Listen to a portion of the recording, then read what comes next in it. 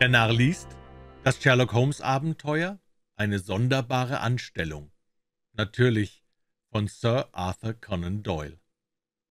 »Ach ja, ich weiß«, sagte Watson lächelnd. »Sie meinte die Geschichte mit der sonderbaren Anstellung. Das war kurz nach unserer Verheiratung. Ich hatte eben die Praxis des alten Farquhar hier im Stadtteil Paddington übernommen. Farquhar war früher ein sehr gesuchter Arzt gewesen, bis sein hohes Alter und das Nervenübel, an dem er litt, eine Art Veitstanz, ihm viele Patienten abwendig machten. Das Publikum urteilt begreiflicherweise nach dem Grundsatz, dass wer andere kurieren will, selbst gesund sein sollte. Es setzt wenig Vertrauen in die Kenntnisse eines Doktors, der für sein eigenes Leiden kein Heilmittel weiß. So schwanden die Einnahmen meines Vorgängers mit seinen Kräften, und als ich die Praxis übernahm, waren deren früherer Ertrag von 1200 Pfund auf etwa 300 jährlich abgesunken. Im Vertrauen auf meine Jugend und Tatkraft zweifelte ich jedoch nicht, dass das Geschäft in wenig Jahren wieder so blühend sein würde, als es je gewesen. Während der ersten drei Monate nach Übernahme der Praxis war ich tüchtig in Anspruch genommen und sah daher wenig von meinem Freunde Holmes. Ich hatte zu viel zu tun, um ihn in der Bakerstraße aufzusuchen und er ging überhaupt selten irgendwohin, außer in Berufsgeschäften. An einem Julimorgen saß ich noch beim Frühstück, in eine medizinische Zeitung vertieft, behaglich im Studierzimmer, als es klingelte und ich zu meiner Überraschung gleich darauf die etwas scharfe Stimme meines ehemaligen Gefährten hörte. »Mein lieber Watson«, sagte er eintretend, »wie freue ich mich, dich wiederzusehen. Ich hoffe, Deine Frau hat sich von allen Aufregungen bei unserem Abenteuer mit dem Zeichen der Vier vollkommen erholt.« »Danke, wir sind beide wohl auf«, sagte ich, ihm herzlich die Hand schüttelnd. »Ich hoffe aber auch ferner«, fuhr er fort und setzte sich in den Schaukelstuhl, »dass du über die Sorgen des ärztlichen Berufes nicht alles Interesse an unseren kleinen Problemen und Schlussfolgerungen verloren hast. Ganz im Gegenteil. Erst gestern Abend habe ich meine alten Notizen durchblättert und einige unserer früheren Erlebnisse hinzugefügt. Du hältst aber deine Sammlung doch nicht für abgeschlossen. Durchaus nicht. Ich wünsche mir recht bald noch mehr derartige Abenteuer. Vielleicht heute? Jawohl, heute, wenn du willst. Auch wenn die Reise bis nach Birmingham geht? Gewiss, wohin es dir beliebt. Und die Praxis? Ich übernehme die Kranken eines Kollegen, so oft er verreist, und er ist immer bereit, mir Gegendienste zu leisten. Das trifft sich ja vortrefflich, rief Holmes. Dann lehnte er sich in den Stuhl zurück und sah mich unter seinen halbgeschlossenen Augenlidern scharf an. »Mir scheint, du bist kürzlich unpässlich gewesen. Eine Erkältung im Sommer ist immer etwas angreifend. Ich habe letzte Woche wegen eines riesigen Schnupfens drei Tage das Haus hüten müssen, aber ich meinte doch, jede Spur davon abgeschüttelt zu haben. Jawohl, du siehst vortrefflich aus. Nun, woher weißt du's denn? Mein lieber Freund, du kennst doch meine Methoden. Also, mittels einer Schlussfolgerung, »Gewiss. Und was brachte dich darauf?« »Deine Pantoffeln.« Ich blickte auf meine Glanzlederschuhe. »Wie in aller Welt«, begann ich, aber Holmes beantwortete meine Frage, ehe sie ausgesprochen war. »Deine Pantoffeln sind neu«, sagte er. »Die Sohlen, welche du mir ebenso freundlich zur Schau stellst, sind aber leicht angesenkt. Zuerst meinte ich, sie seien vielleicht nass geworden und beim Trocknen verbrannt, aber in der Mitte klebt noch eine kleine runde Papiermarke mit der Firma des Fabrikanten. Durch die Feuchtigkeit hätte sie sich natürlich abgelöst, also hast du mit ausgestreckten Füßen am Feuer gesessen, was ein vernünftiger Mensch doch nicht einmal in einem so nassen Sommer wie diesem tun würde, wenn er vollständig gesund ist. Wie bei allen merkwürdigen Schlüssen meines Freundes schien die Sache auch diesmal die Einfachheit selbst, sobald Holmes sie auseinandersetzte. Er las mir diesen Gedanken vom Gesicht ab und lächelte mit einem Anflug von Bitterkeit. »Ja, ja«, sagte er, »ich schade mir immer selbst, wenn ich mich auf Erklärungen einlasse. Eine Wirkung, deren Ursache man nicht kennt, macht viel mehr Eindruck. Du kommst also mit nach Birmingham?« »Gewiss. Was ist's für ein Fall?« »Das sollst du in der Bahn hören. Mein Klient wartet draußen im Wagen, du bist wohl schnell fertig?« »Im Augenblick?« Ich schrieb einen Zettel an meinen Kollegen, lief die Treppe hinauf, um meiner Frau die Mitteilung zu machen, und traf mit Holmes an der Haustür zusammen.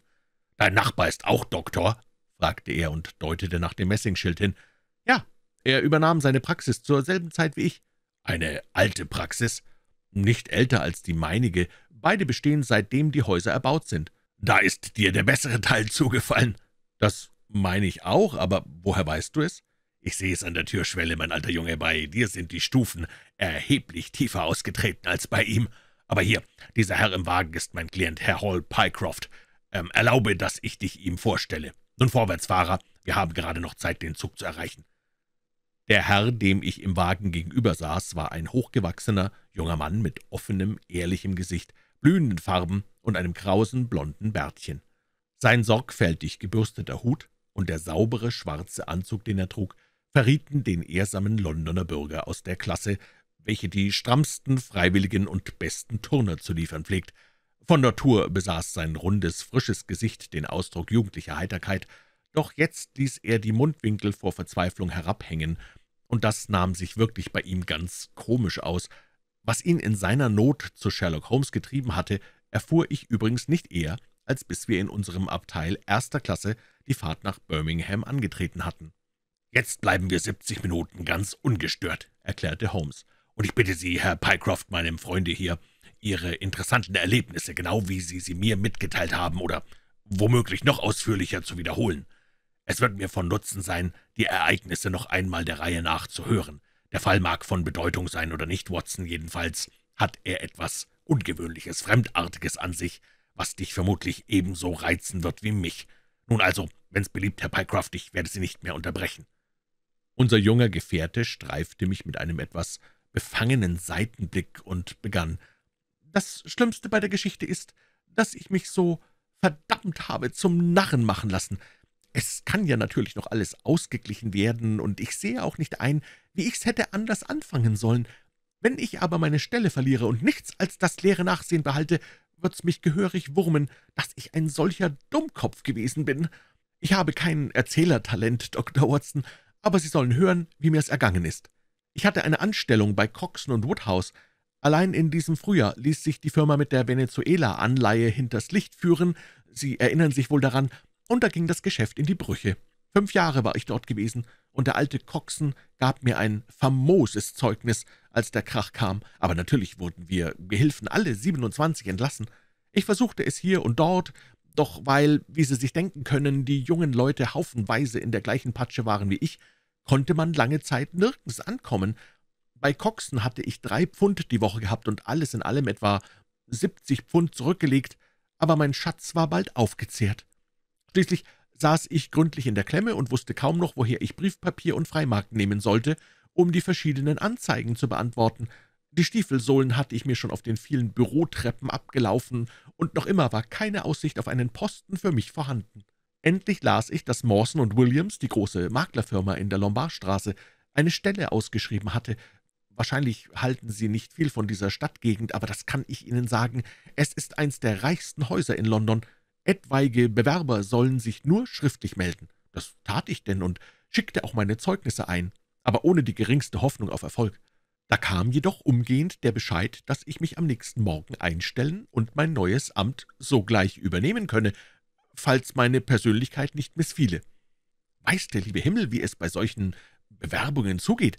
Manche Leute behaupten, der Geschäftsherr greife aufs Geratewohl in den Haufen von Anerbietungen und wähle die erste Beste, die ihm in die Hand kommt.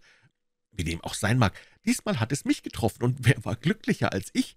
Mein Gehalt betrug ein Pfund mehr die Woche als bei Coxen, und die Arbeit war ungefähr dieselbe.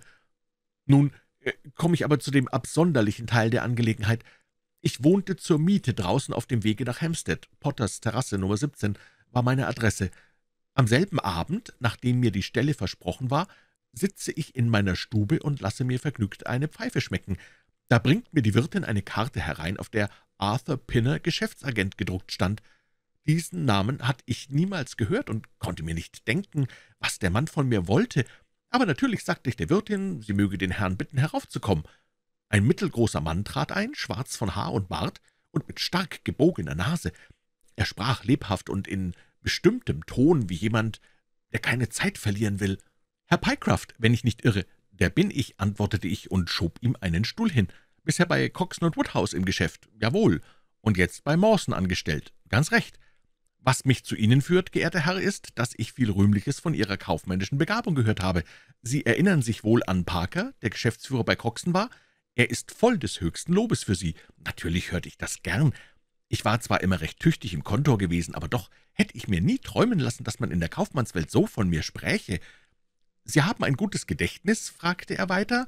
»Das geht wohl an«, erwiderte ich bescheiden. »Sind Sie, während Sie außer Stellung waren, mit dem Börsenkurs auf dem Laufenden geblieben?« »Jawohl, ich lese jeden Morgen den Kurszettel.« »Wirklich, nun, das zeugt von wahrem Eifer. Dabei können Sie es zu etwas bringen. Mit Ihrer Erlaubnis möchte ich Sie ein wenig auf die Probe stellen. Warten Sie einmal. Wie stehen die Ayrshire-Pfandbriefe?« »105 bis 5,5. Und die Neuseeland-Konsols?« »104. Die britischen Hügellose?« »7 bis 7,5. »Wunderbar«, rief er und schlug die Hände zusammen.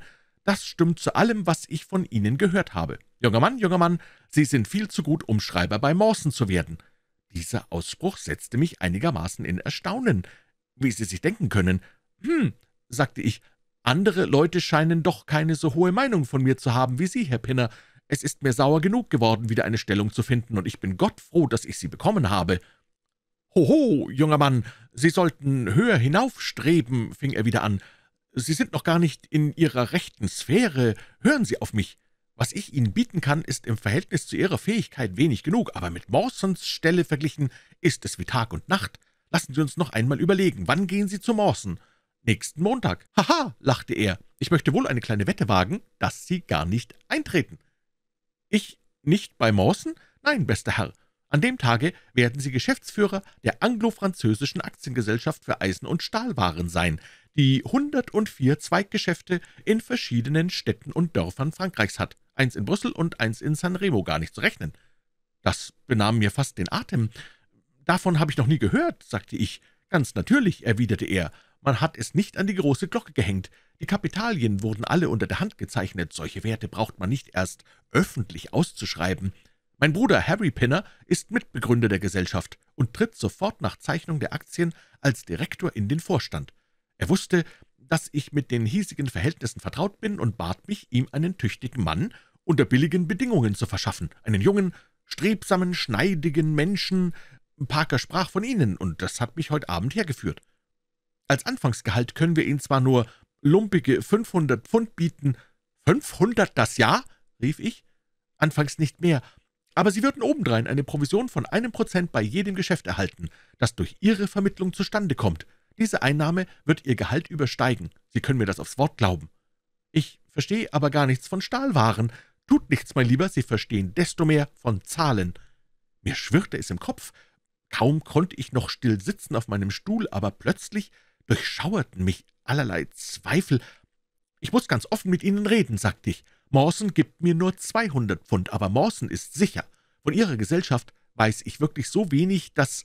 »Aha, höchst schlau«, rief er, wie außer sich vor Entzücken. »Sie sind der wahre Mann für uns. Sie lassen sich nicht beschwatzen und tun auch noch ganz recht daran. Hier ist eine 100-Pfund-Note, wenn Sie meinen, dass wir uns miteinander verständigen können. So stecken Sie den Schein einfach in die Tasche als Vorschuss auf Ihr Gehalt.« Das entwaffnete mich gänzlich. »Sehr wohl«, sagte ich, »und wann würde ich mein neues Amt antreten müssen? »Seien Sie morgen um ein Uhr in Birmingham«, versetzte er. »Ich habe hier ein Briefchen an meinen Bruder, das Sie ihm bringen sollen. Sie finden ihn in der Kooperationsstraße 126b, wo die Gesellschaft vorläufig ihr Büro hat. Er muss natürlich Ihre Anstellung bestätigen, aber unter uns gesagt, es ist alles so gut wie abgemacht.« »Ich weiß wirklich nicht, Herr Pinner, wie ich Ihnen danken soll«, rief ich. »Nicht doch, mein Bester, Sie erhalten nur, was Sie verdienen. Nun noch zwei Kleinigkeiten, nur der Form wegen, über die wir uns einigen müssen. Dort neben Ihnen liegt ein Blatt Papier. Schreiben Sie gefälligst, ich erkläre mich hierdurch bereit, in die anglo-französische Aktiengesellschaft für einen Anfangsgehalt von 500 Pfund als Geschäftsführer einzutreten. Ich tat, wie er verlangte, und er steckte das Papier ein. »Und nun noch eins«, sagte er, »was denken Sie wegen Mawson zu tun?« Ich hatte Mawson in meiner ganzen Freude vergessen. »Ich werde ihm sogleich schreiben und mich abmelden.« Wissen Sie, davon würde ich entschieden abraten. Ich habe nämlich Ihretwegen mit Mawsons Geschäftsführer einen kleinen Wortwechsel gehabt. Als ich dort war, um Erkundigungen über Sie einzuziehen, wurde er sehr unverschämt, beschuldigte mich, Sie seiner Firma abspenstig machen zu wollen und dergleichen. Schließlich verlor ich die Geduld und sagte ihm, wenn Sie tüchtige Leute haben wollen, so müssen Sie sie auch anständig bezahlen. Darauf erwiderte er, Pycraft wird lieber unser kleines Gehalt nehmen als Ihr großes und ich wette eine Fünf-Pfund-Note, dass Sie nichts mehr von ihm zu hören bekommen, wenn ich ihm ein Anerbieten mache«, rief ich. »Gut, es gilt«, sagte er. Wir haben ihn von der Straße aufgelesen, und er wird uns anhängen wie eine Klette. Das waren seine eigenen Worte.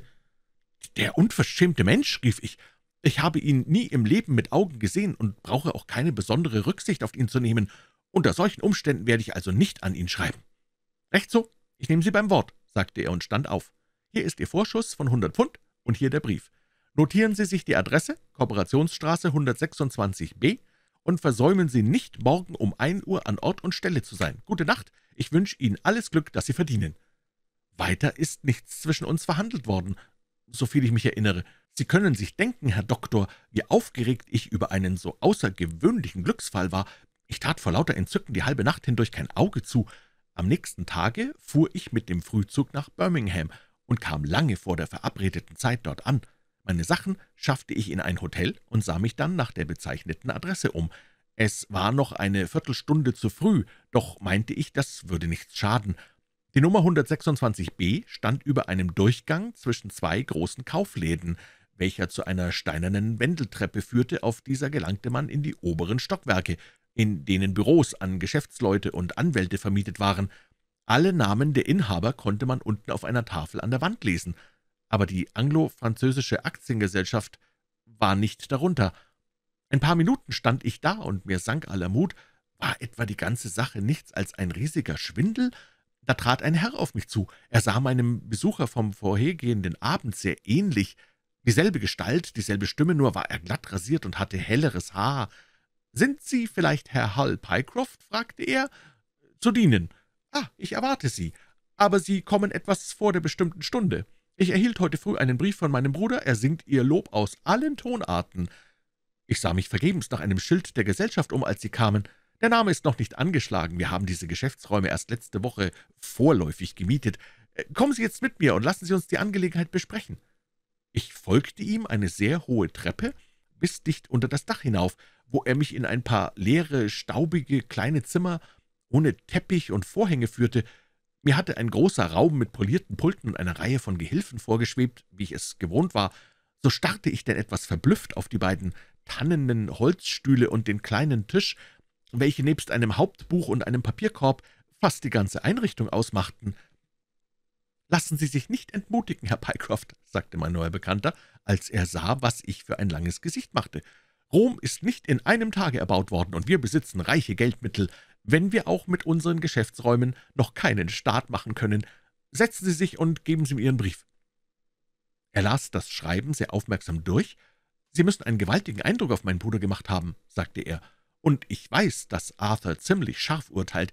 Freilich lässt er nichts gelten, was nicht aus London kommt, und ich bin ganz für Birmingham, aber diesmal werde ich seinem Rate folgen. Betrachten Sie sich gefälligst als fest angestellt.« »Und was sind meine Obliegenheiten?« fragte ich.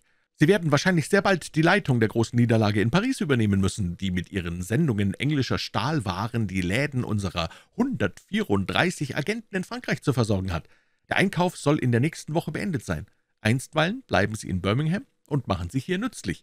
Auf welche Weise?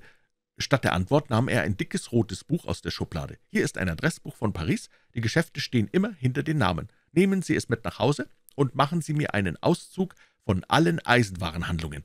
Es wird mir von größtem Nutzen sein, das Verzeichnis zu haben. Es muss aber doch fertige Geschäftsadressen geben, erlaubte ich mir zu bemerken, keine zuverlässigen. Das französische System ist nicht wie unseres. Machen Sie sich an die Arbeit, damit ich die Liste bis Montag um zwölf Uhr haben kann. Und nun nehmen Sie wohl, Herr Pycroft. Wenn Sie auch ferner Eifer und Verständnis zeigen, werden Sie sich über die Gesellschaft nicht zu beklagen haben.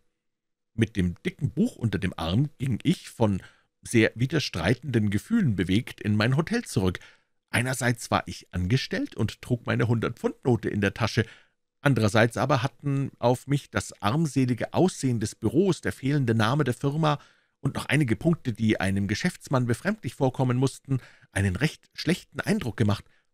Indessen, was auch daraus werden mochte, ich hatte das Geld und meine Aufgabe. Den ganzen Sonntag über blieb ich bei der Arbeit, und doch war ich am Montag nur bis zum Haar gelangt. Ich ging zu meinem Prinzipal, fand ihn in demselben kahlen Zimmer und erhielt die Anweisung, bis Mittwoch fortzuarbeiten, dann wiederzukommen. Beenden konnte ich die Liste auch bis zum Mittwoch nicht, und so trieb ich's weiter bis Freitag, das heißt bis gestern. Dann brachte ich Herrn Harry Pinner das fertige Verzeichnis. »Ich »Danke Ihnen sehr«, sagte er. »Vermutlich habe ich die Schwierigkeit der Aufgabe unterschätzt. Die Liste wird aber von wesentlichem Wert für mich sein. Sie hat viel Zeit gekostet«, bemerkte ich. »Nun bitte ich Sie, mir ein Verzeichnis der Möbelhandlungen anzufertigen, die zugleich auch Stahlwaren verkaufen. Sehr wohl. Sie können sich morgen Abend um sieben Uhr hier einstellen und mir sagen, ob Sie gut vorwärts kommen.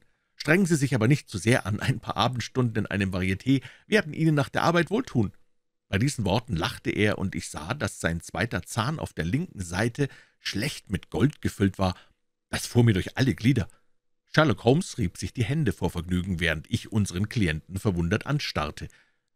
»Ich begreife Ihr Erstaunen, Herr Doktor«, fuhr er fort. »Die Sache verhält sich nämlich folgendermaßen.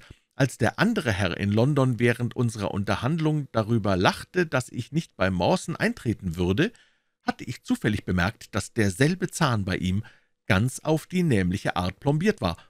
Damals wie jetzt war mir das Blinken des Goldes aufgefallen. Bedachte ich nun, dass die beiden sich auch in Stimme und Gestalt genau glichen und nur in dem verschieden waren, was sich mit Hilfe von Rasiermesser und Perücke leicht verwandeln ließ, so musste mir einleuchten, dass derselbe Mann vor mir stand Zwei Brüder können sich freilich ähnlich sehen, aber doch kaum in der Füllung ihrer Zähne. Als ich mich von ihm verabschiedet hatte und wieder auf der Straße war, wusste ich kaum noch, ob ich bei Sinnen war. Im Hotel angekommen, goss ich mir einen Krug kaltes Wasser über den Kopf und versuchte, meine Gedanken zu ordnen. Weshalb hatte er mich nach Birmingham geschickt? Weshalb war er dort vor mir eingetroffen? Weshalb hatte er einen Brief an sich selber geschrieben? Es überstieg meine Fassungskraft, ich konnte weder Sinn noch Verstand darin finden. Da fiel mir plötzlich ein, dass, was mir unergründlich war, Herr Holmes, vielleicht ganz erklärlich sein könne. Ich hatte gerade noch Zeit, mit dem Nachtzug London zu erreichen, Sie am Morgen aufzusuchen und mit Ihnen beiden nach Birmingham zurückzufahren. Als der Gehilfe mit dem Bericht über seine merkwürdigen Erlebnisse zu Ende war, entstand eine Pause. Holmes lehnte sich in die Kissen zurück und sah mich mit wohlgefälligem und doch prüfendem Blicke an, wie ein Kenner, der den ersten Becher eines Kometenjahrgangs kostet. »Richtig, Watson, nicht wahr?« rief er. »Einige Punkte gefallen mir ganz besonders. Meinst du nicht auch, dass eine Zusammenkunft mit Herrn Arthur Harry Piner in dem Büro der anglo-französischen Aktiengesellschaft für uns beide recht interessant sein würde?« »Aber wie ließe sich das ausführen?« fragte ich. »Oh, ganz bequem«, versicherte Pycroft vergnügt. »Sie sind ein paar Freunde von mir, die eine Stellung suchen, und was kann natürlicher sein, als dass ich sie dem Direktor vorstelle?« »Jawohl, selbstverständlich«, rief Holmes. Ich möchte den Herrn wohl von Angesicht sehen und versuchen, ob ich ihm nicht bei seinem Spiel in die Karten gucken kann. Nun, mein Freund, ähm, zu was für Diensten könnten wir uns denn etwa anbieten? Oder wäre es möglich?« Damit versank er in tiefes Nachdenken, kaute an seinen Nägeln und starrte aus dem Fenster. Wir bekamen kaum noch den Laut seiner Stimme zu hören, bevor wir Birmingham und das Hotel erreicht hatten. Um sieben Uhr abends gingen wir alle drei zusammen in die Korporationsstraße nach dem Büro der Gesellschaft. »Es ist ganz unnütz«, bemerkte unser Klient, »wenn wir vor der Zeit dort sind. Er kommt offenbar nur meinetwegen hin, denn bis zu der von ihm bestimmten Stunde ist der Ort völlig verlassen.« »Das gibt zu denken«, meinte Holmes. »Meiner treu«, rief jetzt Pycroft, »sag ich's nicht, da geht er vor uns.« Er zeigte auf einen schmächtigen, wohlgekleideten Mann mit hellbraunem Haar, der eilig auf der anderen Seite der Straße hinschritt. Während wir ihn beobachteten, sah er nach einem Jungen hinüber, der gerade die neueste Abendzeitung ausrief. Rasch drängte er sich zwischen den Fahrzeugen und Omnibussen hindurch, kaufte ein Blatt, ergriff es hastig und verschwand damit in einem Torweg. »Jetzt geht er ins Büro«, sagte der Schreiber. »Das ist der Eingang, kommen Sie nur. Ich will schon dafür sorgen, dass Sie keinerlei Schwierigkeiten haben.« Seiner Führung folgend stiegen wir bis zum fünften Stock hinauf, wo unser Klient an eine halb offen stehende Tür klopfte. Eine Stimme rief, »Herein!« und wir betraten das kahle, unmöblierte Zimmer, welches wir aus Pycrofts Beschreibung kannten. An dem einzigen Tisch saß der Mann, den wir auf der Straße gesehen hatten. Die Abendzeitung lag vor ihm ausgebreitet. Als er den Kopf erhob, glaubte ich noch nie ein Gesicht gesehen zu haben, das solchen Kummer ausdrückte und ein Entsetzen verriet, wie es nur wenige Menschen einmal im Leben befällt. Schweißtropfen standen ihm auf der Stirn, sein Gesicht war kreideweiß und die Augen starrten wild umher. Er schien den Schreiber nicht gleich zu erkennen, und auch an Pycrofts verwunderter Miene merkte man leicht, dass dies keineswegs das gewöhnliche Aussehen seines Vorgesetzten war. »Was fehlt Ihnen, Herr Pinner?« rief er. »Ich fühle mich allerdings nicht ganz wohl«, erwiderte dieser, sich mit großer Anstrengung zusammenraffend. »Wer sind denn die Fremden, die Sie mitbringen?« Herr Harris aus Bermondsey und Herr Price von hier«, stellte uns Pycroft mit geläufiger Zunge vor. »Zwei meiner Freunde, sehr gewiegt im Geschäft, aber seit langer Zeit ohne Anstellung. Vielleicht ließe sich bei der Gesellschaft ein Platz für Sie finden.« »Womöglich, womöglich«, rief Pinner mit unheimlichem Lächeln. »Kein Zweifel. Wir werden etwas für Sie tun können. Was ist denn Ihr besonderes Fach, Herr Harris?« »Ich bin Buchhalter«, antwortete Holmes. »Gut, wir werden Ihre Dienste brauchen. Und Sie, Herr Price?« »Korrespondent«, sagte ich. »Ich hoffe bestimmt, dass Sie bei der Gesellschaft eintreten können. Sobald ein Beschluss darüber gefasst ist, will ich Sie benachrichtigen. Aber bitte, nun gehen Sie wieder. Lassen Sie mich um Gottes Willen allein.« Er stieß die letzten Worte heraus, als ob der Zwang, den er sich bisher angetan, plötzlich über seine Kräfte ginge. Holmes und ich sahen einander befremdet an, während Pycroft sich dem Tisch näherte. »Sie vergessen, Herr Pinner«, sagte er, »dass Sie mich herbestellt haben, um Ihre Aufträge in Empfang zu nehmen.« äh, »Ja, so versteht sich«, antwortete er in ruhigerem Ton. »Warten Sie bitte einen Augenblick. Auch Ihre Freunde mögen unterdessen hierbleiben. In drei Minuten stehe ich Ihnen ganz zu Diensten. Ich darf wohl Ihre Geduld so lange in Anspruch nehmen.« Er erhob sich mit sehr höflicher Miene, machte uns eine Verbeugung und verschwand durch eine Tür am anderen Ende des Zimmers, die er hinter sich schloss. »Was nun?« flüsterte Holmes. »Geht er auf und davon?« »Unmöglich«, erwiderte Pycroft. »Weshalb?« »Die Tür führt in ein inneres Zimmer ohne Ausgang.« »Ist es möbliert?« »Gestern war es leer.« »Was in aller Welt tut er dann da drin? Die Geschichte ist mir höchst rätselhaft. Wenn jemals ein Mensch halb wahnsinnig vor Entsetzen ausgesehen hat, so ist es dieser Pinner. Was kann ihm solche Angst einjagen?« »Er hält uns für Geheimpolizisten?« meinte ich. »Das wird sein«, stimmte Pycroft bei, aber Holmes schüttelte den Kopf. »Er wurde nicht erst so leichenblass, als wir eintraten, er war es schon vorher. Es könnte wohl sein...« Holmes' Worte wurden durch ein lautes Klopfen unterbrochen, das aus dem Nebenzimmer zu kommen schien. »Was zum Henker pocht er denn an seine eigene Tür?« rief Pycroft. Wieder kam das Rat-Tat-Tat, aber diesmal lauter und lauter. Wir blickten verdutzt auf die geschlossene Tür. Holmes stand mit starren Zügen, aber in heftigster Aufregung weit vorgebeugt da. Dann hörte man plötzlich einen glucksenden, gurgelnden Ton und ein schnelles Trommeln gegen eine Holzwand. Wie rasend sprang Holmes durchs Zimmer und rannte gegen die Tür. Sie war von innen verschlossen. Seinem Beispiel folgend warfen wir uns mit aller Macht dagegen. Die Tür krachte in den Angeln und fiel bald mit lautem Gepolter zu Boden. Wir stürmten darüber hinweg ins Zimmer hinein, und es war leer. Doch schon im nächsten Augenblick erkannten wir unseren Irrtum. In einem Winkel dicht neben dem Zimmer, aus dem wir kamen, war eine zweite Tür. Holmes sprang herzu und stieß sie auf. Ein Rock und eine Weste lagen am Boden, und an einem Haken hinter der Tür hatte sich der Direktor der anglo-französischen Aktiengesellschaft an seinem eigenen Hosenträger aufgehängt. Seine Knie waren emporgezogen, sein Kopf steckte in der Schlinge, und mit den Fersen, die gegen die Holztür schlugen, verursachte er den Lärm, der uns zuerst stutzig gemacht hatte. Augenblicklich fasste ich ihn um den Leib und hielt ihn empor, während Holmes und Pycroft die elastischen Tragbänder lösten, die sich ihm fest in die Haut eingeschnürt hatten. Dann trugen wir ihn in das Nebenzimmer, wo er aschgrau im Gesicht mit blauroten Lippen keuchend dalag. Nur noch ein elendes Wrack des Menschen, der er vor fünf Minuten gewesen war. »Wie steht es mit ihm? Was meinst du, Watson?« fragte Holmes. Ich beugte mich über ihn, um seinen Zustand zu untersuchen. Der Puls war schwach und setzte aus aber die Atemzüge wurden länger, und bei dem leisen Beben der Lider zeigte sich dann und wann der Augapfel.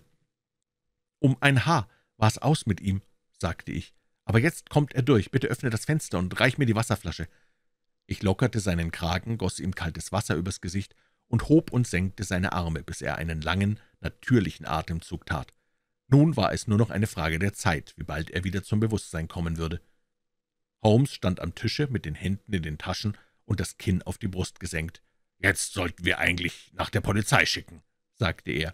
»Aber ich gestehe, dass ich ihr, wenn sie kommt, gern den fertigen Fall vorlegen möchte.« »Ich werde ganz und gar nicht klug draus«, rief Pycroft und fuhr sich durch das Haar.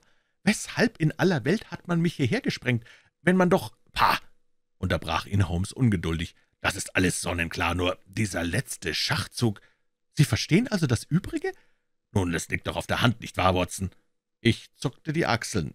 »Ich muss bekennen, dass ich noch im Dunkeln bin.« »Aber wenn man die ganze Sache von Anfang an überlegt, lässt sich doch nur ein Schluss daraus ziehen.« »Wie erklärst du sie dir denn?« Alles dreht sich um zwei Punkte. Erstens sollte Pycroft dazu gebracht werden, seinen Eintritt in den Dienst der angeblichen Aktiengesellschaft schriftlich zu erklären. Ist das nicht schon ein deutlicher Wink? Was meinst du denn, wozu Sie die Erklärung brauchten?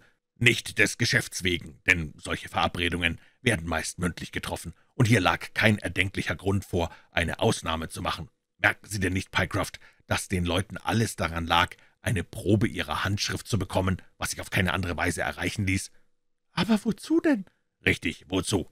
Wenn wir darauf die Antwort wissen, so sind wir der Lösung unseres Problems um ein gutes Teil näher gerückt. Wozu? Es kann nur einen genügenden Grund dafür geben. Jemand wollte ihre Handschrift nachmachen und musste sich zu dem Zweck erst eine Probe verschaffen. Wenn wir nun zu dem zweiten Punkt übergehen, so finden wir, dass der eine Licht auf den anderen wirft. Dieser zweite Punkt ist Pinners Verlangen, dass sie ihre Stellung bei Mawson nicht aufkündigen, sondern den dortigen Geschäftsführer in dem Glauben lassen sollten. Ein Herr Hall Pycroft, den er niemals gesehen hatte, werde sich am Montagmorgen im Kontor einstellen. »Großer Gott«, rief unser Klient, »wie stockblind bin ich gewesen!« Jetzt wird Ihnen auch die Sache mit der Handschrift einleuchten. Jemand, dessen Schrift ganz anders war als die, mit welcher Sie sich um die Stelle bewarben, hätte natürlich gleich sein Spiel verloren. Aber der Spitzbube lernte unterdessen ihre Schrift nachzuahmen und sicherte dadurch seine Stellung, vorausgesetzt, dass niemand im Kontor sie persönlich kannte. »Keine Seele«, stöhnte Pycroft. Natürlich war es von der größten Wichtigkeit, dass Sie nicht noch Ihren Entschluss änderten oder in Beziehung zu irgendjemand traten, der Ihnen von Ihrem Doppelgänger bei Mawson erzählen konnte. Deshalb erhielten Sie einen anständigen Vorschuss, mussten nach Birmingham reisen und bekamen genug zu tun, damit Sie sich nicht etwa einfallen ließen, nach London zurückzufahren und den Leuten ihr Spiel zu verderben. Aber weshalb gab der Mensch sich für seinen eigenen Bruder aus? Ach, das ist auch sehr erklärlich.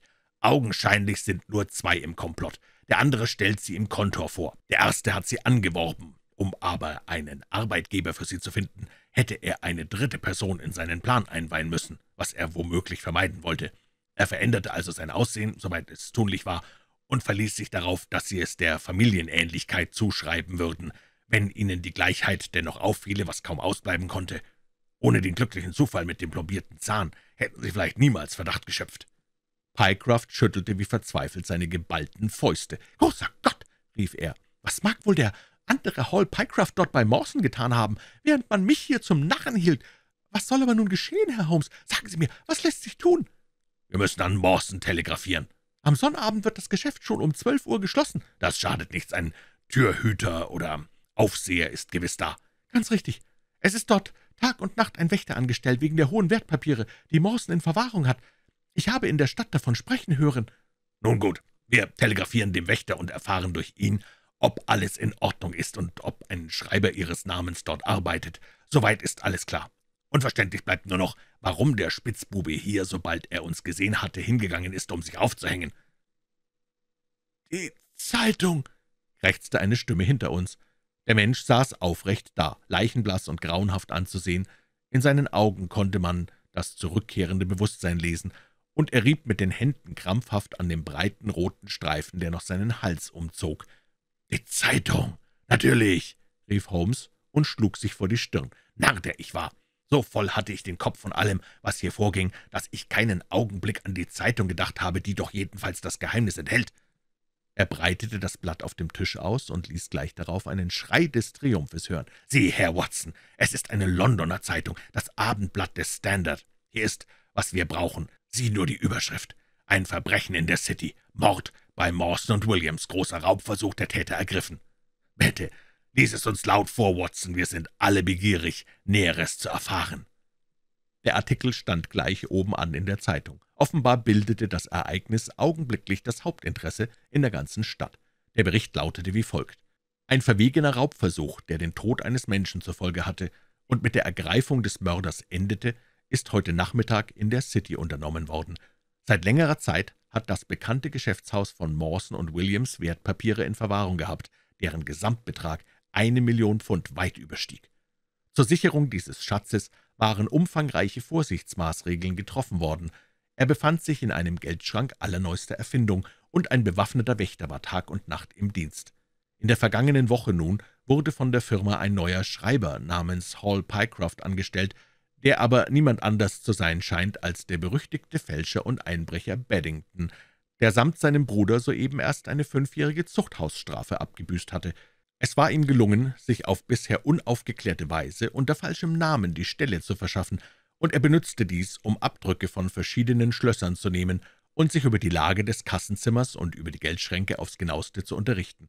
Bei Mawson pflegen die Gehilfen und Beamten am Sonnabend das Geschäft schon um zwölf Uhr mittags zu verlassen, als daher der Stadtpolizist Tewson zwanzig Minuten nach ein Uhr einen Herrn mit einer Reisetasche die Stufen herabkommen sah, wunderte ihn das sehr. Sein Verdacht war erregt, er folgte dem Menschen, und es gelang ihm, mit Hilfe des Schutzmanns Pollack, den Kerl nach verzweifeltem Widerstande festzunehmen. Es zeigte sich sogleich, dass ein großartiger, äußerst frecher Raub begangen worden war.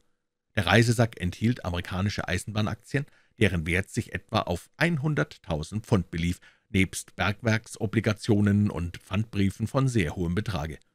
Bei der Haussuchung fand man den Leichnam des ermordeten Wächters in den größten Kassenschrank hineingezwängt, wo er ohne das tätige Eingreifen des Polizisten Houston nicht vor Montag früh entdeckt worden wäre. Der Schädel war dem Unglücklichen mit einem Feuerhaken von hinten her eingeschlagen worden. Ohne Zweifel hatte sich Beddington unter dem Vorwand, etwas vergessen zu haben, Eintritt verschafft, hatte den Wächter getötet, schnell den großen Kassenschrank geleert und sich mit der Beute davongemacht. Sein Bruder, der sonst immer mit ihm zu arbeiten pflegt, scheint bei diesem Unternehmen nicht beteiligt zu sein, soviel man bis jetzt weiß, doch ist die Polizei eifrig beschäftigt, nach seinem Aufenthaltsort zu forschen. »Da können wir der Polizei einige Mühe ersparen«, sagte Holmes mit einem Blick auf die jämmerlich zusammengekrümmte Gestalt, die im Winkel kauerte. »Die menschliche Natur ist doch ein recht wunderliches Gemisch, Watson. Selbst ein Schurke und ein Mörder kann das größte Mitleid einflößen. Auf die erste Kunde hin, dass er dem Strick verfallen ist, hat sein Bruder hier Selbstmord versucht. Uns bleibt übrigens keine Wahl. Wir wissen, was wir zu tun haben. Der Doktor und ich werden hier Wache halten, und Sie, Pycraft, holen unterdessen gefälligst die Polizei.«